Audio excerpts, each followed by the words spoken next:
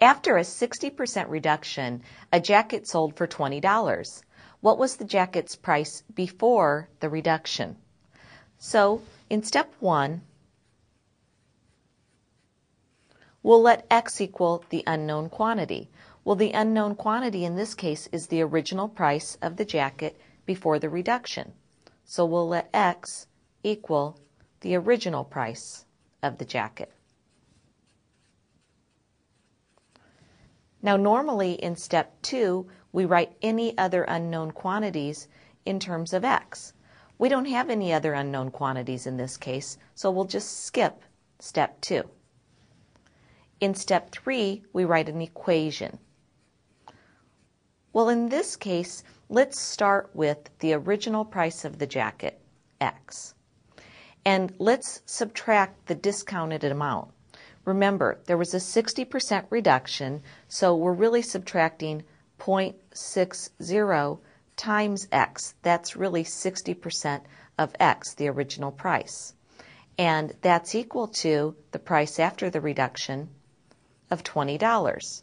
So, in step three, the x represents the original price. 0.60x really represents the reduction.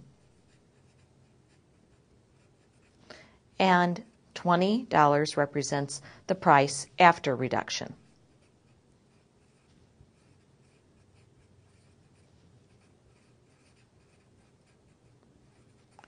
Now we can solve this problem in step four.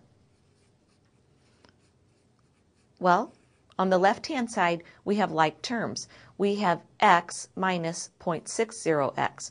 Remember, this x really has a coefficient of 1, or I could even write 1.0, and I could subtract 0.60 from that, and I'll get a total of 0.40 x is equal to 20.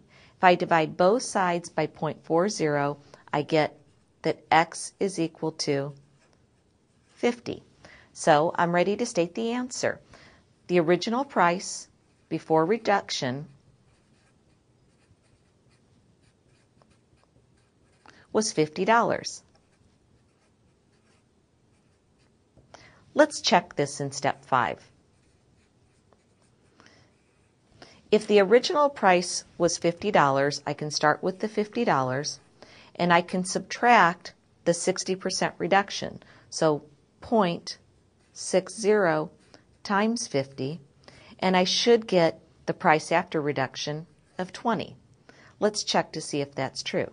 50 minus 0.60 times 50 is just 30 and that does equal 20.